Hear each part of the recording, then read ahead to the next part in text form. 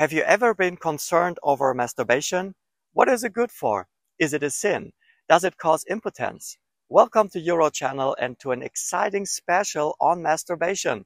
Because just a few weeks ago, very interesting new research has been published in the field of biology regarding the evolution of masturbation in primates.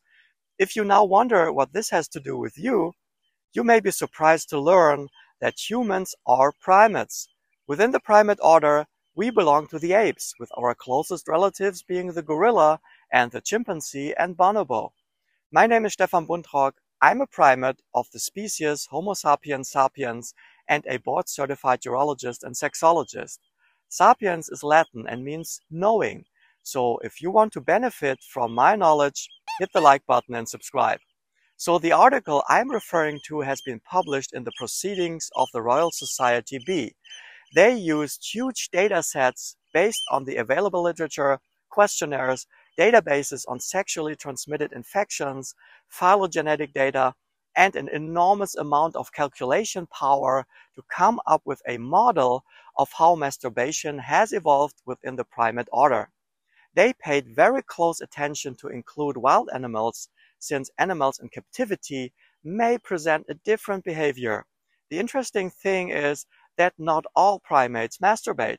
Phylogenetically, it was present in the ancestral haplorhines, which means dry-nosed primates, a class that we humans belong to as well. After the split from tarsiers, it persisted in the subsequent subspecies, which is Catarrhine monkeys, apes, and Platyrrhine monkeys.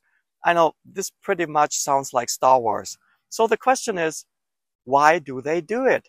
I mean, it doesn't seem to increase survival and it doesn't seem to contribute to procreation either. And even worse than that, it takes time and takes up energy and attention, which is not good when living in a potentially hostile environment where you have to be on guard all of the time. So the easiest explanation would be to classify it as some kind of pathological behavior. This is pretty much what the pathology hypothesis does. Problem is, it focuses primarily on animals held in captivity. One could say that these animals show all kinds of strange behavior, have a high sex drive, and just need an outlet for that. This hypothesis is problematic given the fact that wild animals also masturbate. But this new research could shed some light onto the discussion. For the first time ever, evidence could be provided to explain male masturbation in terms of an evolutionary advantage for procreation. The so-called post-copulatory selection hypothesis says that male non-ejaculatory masturbation prior to sexual intercourse will speed up ejaculation so that low-ranking males will get a chance to reproduce before they will be pushed away by a rival higher in rank. The other part of this hypothesis says that pre-copulatory masturbation with ejaculation will increase the sperm quality by expelling inferior sperm first so that the sperm and the subsequent ejaculate is of high quality.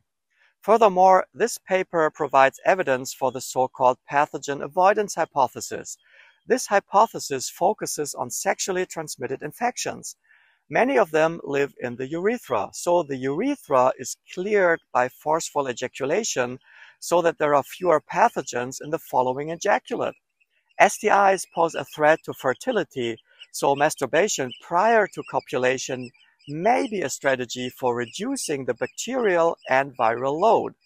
The researchers found strong evidence for the coevolution between masturbation and pathogen occurrence in males in support of this hypothesis. So it comes down to the simple truth that masturbation is likely to serve a purpose after all. Even if we are not aware of it on a conscious level, we as primates are submitted to ancient behavioral programs rooted deeply somewhere in our brains. It is possible that the study at hand may be what we call a milestone study in a field we so far don't know very much about. I'm excited to see future research on that topic. Thanks for watching. Bye bye.